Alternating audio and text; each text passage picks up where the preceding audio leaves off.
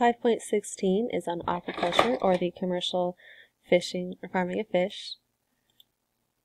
It might be either cages that are out offshore or um, tanks that are inland, but it produces a lot of fish um, in a short amount of time, specifically for the for human consumption.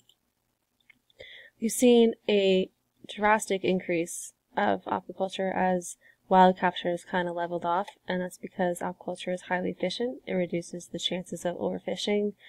It requires only small areas of water and also requires little fuel. There are issues, of course, that come along with it because there are issues with everything. uh, one of the bigger ones is the contamination of water around it. So because it's a small area, a lot of fish, we have to um, put antibiotics into that water. But again, it's water, so it doesn't stay in that area. It's, you know, essentially a net, so things can flow through it. And so that means antibiotics get out into the water.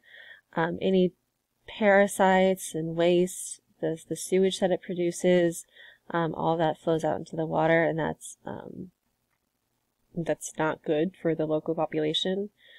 Uh, if you have fish that get out into the wild, that they can compete with the native species.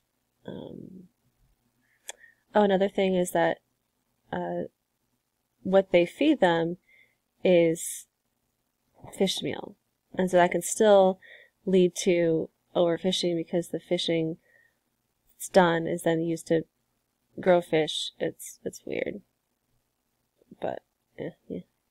Like I said, issues with everything.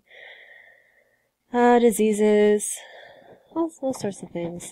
Um, but again, this can be mitigated by tanks that are inland. I've seen tanks that can like recycle the wastewater and then use that as like to grow uh, plants as well. So by no means is this this is a bad thing, but there's just issues that they have to kind of work out before it's um, before it's perfect. In summary, describe the benefits and drawbacks of aquaculture.